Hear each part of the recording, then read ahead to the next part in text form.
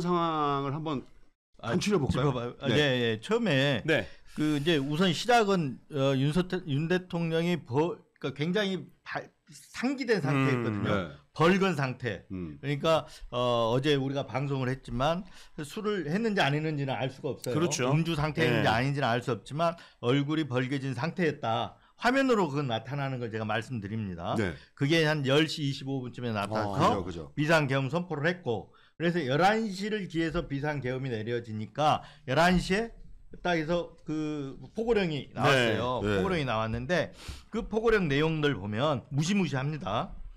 에, 첫 번째 국회와 지방의회 정당의 활동과 정치적 결사, 집회, 시위 등 일체 정치 활동을 금한다 이렇게 됐어요. 네. 예. 그리고 무슨 이제 언론을 또 통제해야 되잖아요. 그래서 어, 자유민주주의 체제를 부정하거나 전복을 기도하는 일체 행위를 금하고 가짜뉴스 여론조작, 허위 선동을 금한다. 음. 뭐 이제 그래서 어, 군인들이 사실 큰 방송사나 이런 데 음. 이제 그 진입을 하- 해가지고 통제를 할 가능성이 높은 거죠. 그죠, 그죠. 네. 아주 긴박했어요. 네. 그렇죠. 그리고 이제 세 번째가 모든 언론과 출판은 계엄사의 통제를 받는다. 음. 그러니까 이 비상계엄이라는 조치가 이것만 보더라도 무시무시하잖아요. 그죠, 네. 그죠.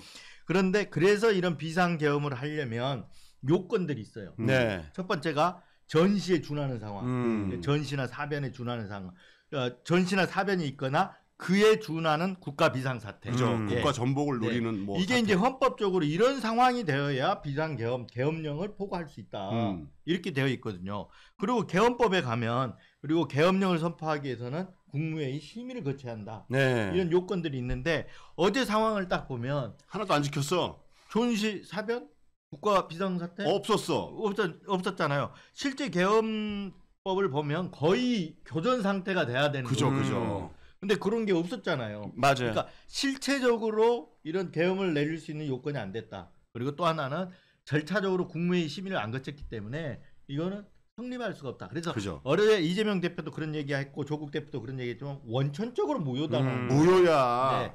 그 원천적으로 무효기 때문에 사실상은 국회에서 이제 그 150명, 190명이 찬성해가지고 맞아요. 계엄 해제 요구안을 의결했잖아요. 네. 근데 의결이 없어도 원천적으로 무효기 때문에 법, 법대로 하면 이게 성립이 안 되는 거예요. 근데 맞아, 맞아. 그거를 맞아. 확실하게 하기 음. 위해서 국회에서 의결을 한 거죠. 나 이 네. 포고령 중에서 네. 예. 나 진짜 심각하게 봤던 것 중에 심각하게 하나가 봤던 글귀. 그 5, 5번이야 5번 네. 포고령 5번에서 이 전공의를 딱 집어갖고 아. 전공의를 비롯해서 파업 중이거나 아, 의료 네, 현장을 맞습니다. 이탈한 모든 의료인들은 48시간 내 본업에 촉- 복귀하여 충실히 근무하고 여기가 되게 웃겨. 응. 위반 시는 계엄법에 의해 처단한다. 아니 나 나머지 항목은 정말 셌어. 포고합니다, 금한다, 네. 뭐 어? 조치한다인데 의료인들에 대해서 는 처단한다. 그러니까 2천 명그 증원에 대해서 네. 의료인들이. 안 떨어 그 안 따라준 거를 복귀 굉장히- 안 하면 복귀 안 하면 처단한다는 거잖아요. 지금. 굉장히 네. 가슴에 한이 됐나 봐. 네. 자기 간에는 그 업적으로 좀 남기고 싶었고 음. 자기가 이제 뭐 형뭐 개혁을 하는 어떤 어, 하나의 성과를 이루고 싶었는데 네. 그걸 못한 게 음. 네. 굉장히 한이었나 봐. 그리고 음. 또그 전까지도 의료인들의 그 과반수 이상은 약간 보수 쪽으로 정치적이 기울었던 건 사실인데 음. 네. 이상하게 윤석열 정권 때만 2천 명 얘기하니까 또 어? 반대로 뭐 정치와는 상관없지만 또 네. 윤석열 정권에 반대하는 의견을 많이 냈잖아요. 네. 처단한다. 아니 이게 이게 무시무시한 무시무시한 말이에요. 거죠. 의사분들 네, 입장에서는 네. 그리고 또 화날 말이에요 이게 진짜 이거 네. 들으면은 네.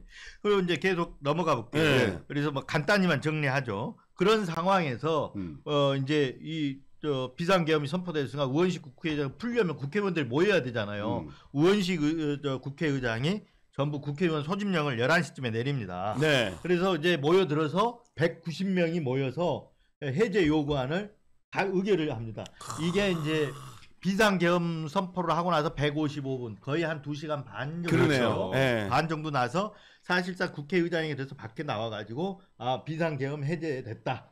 예? 사실상 해제됐다라고 이제 담화문을 발표를 하는 거죠. 그죠. 그러면서 이제 잠시 후에 조금 있다가 이제 군 병력도 서서히 철수하기 철수하기 음. 시작했고요. 네. 그 그러다가 이제 4시 한 반쯤에 돼서 윤 대통령이 국회에서 이게 해제 요구안이 왔으니까 그게 거기에 따라서 해제하겠다. 아, 본인의 성과를 또 자랑하게 돼.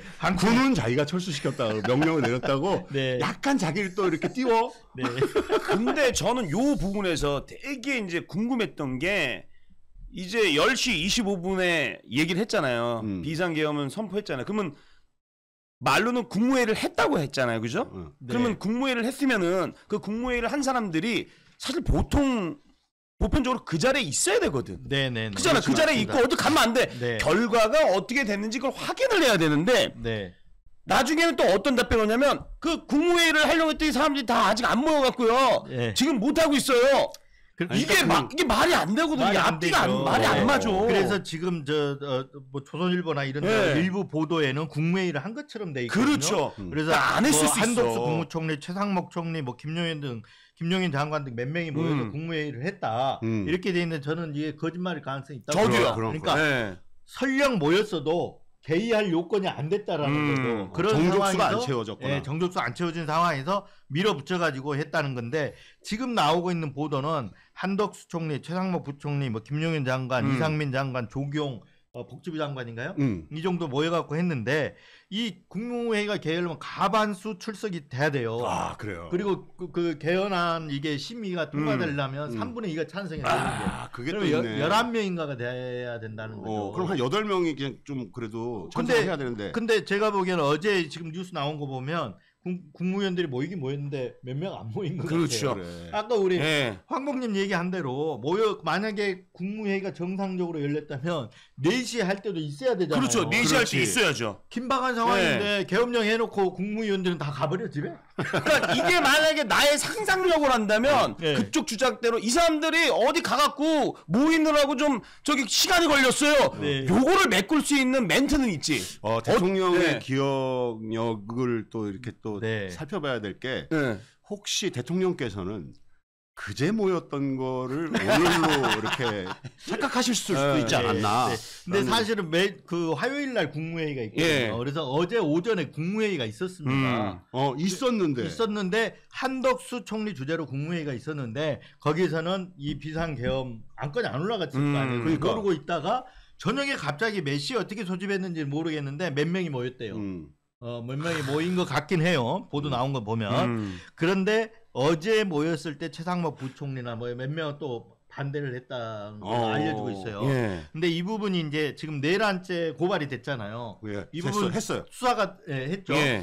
이 부분이 이제 수사가 들어가면 뭐냐면 실제 동의한 사람, 음. 찬성한 사람 이게 다 가려져야 아, 그러네. 어, 형사처벌 대상인지 아닌지를 가려질 네. 거 아니에요. 아. 지금은 발 빼는 사람도 있고 뭐 하고 하지만 음. 나중에 결, 그 그냥 넘어가는 문제가 아니고 가려지게 돼 있다. 음. 어, 참석한 사람들 중에서도 음.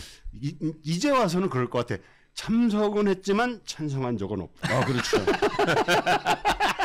참석을 어, 했지만 대통령의 독단적인 결단이었다. 술은 먹었지만 네. 어, 음주는 안 했다. 차에 네. 타고 있었지만 음. 네. 내가 운전한 적은 없다. 네. 어. 그 그래서 이제 이런 부분들이 다 가려지게 될 거고 지금은 누가 뭐 어떤 발언을 했는지 모르지만 국무회의 자체가 아마 녹음이 될 겁니다. 아. 녹음이 되기 때문에 다른 내용 진짜 국무회의를 열었다 그러면 녹음이 다 그렇죠, 됐겠죠. 그렇죠. 우리 그 조선왕조 때도 그 예. 왕의 기록을 이렇게 쫓아다니면서 쓰, 쓰듯이. 쓴 분이 음. 있었잖아.